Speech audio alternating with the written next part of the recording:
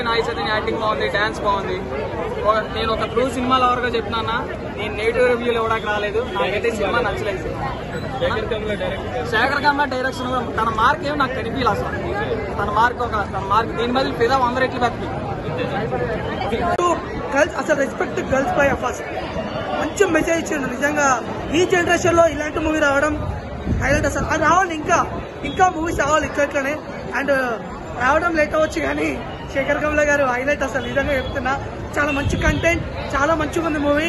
Accept to Akkineni. Highlight act చేసామన్న Raja Chaitanya. మామూలుగా act చేయాలిగా నువ్వు అసలు ఎట్లా నేర్చుకున్నావు? ఎన్ని రోజులు అయిందో నేర్చుకోవడానికి.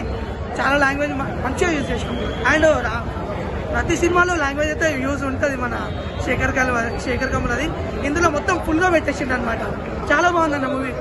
Thank you thank you అయ్యో వద్దామా కొట్లాటలు వద్దామా సుఖీ బాబా సుఖీ బాబా అయ్యో ఇదో సినిమా ఒక్క నిమిషం